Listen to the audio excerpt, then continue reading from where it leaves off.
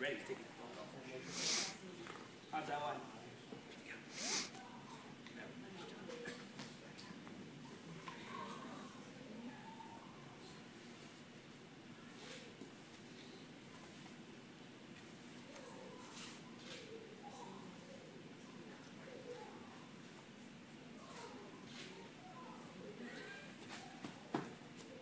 Together.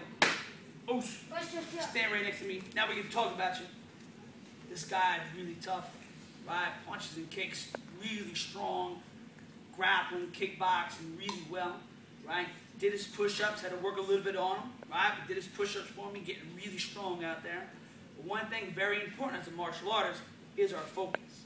And he had to work on his focus a little bit in class, and he made his focus even better in the classroom. And because his focus is getting better here, he's learning his martial arts even better. But where else do we have to have great focus? Where? Everywhere. And that's one thing he's been working on too. Showing the same great focus at home. All that hard work he's been putting into his training has earned him his next belt. So everybody, give him a bow. Oh, oh, sh-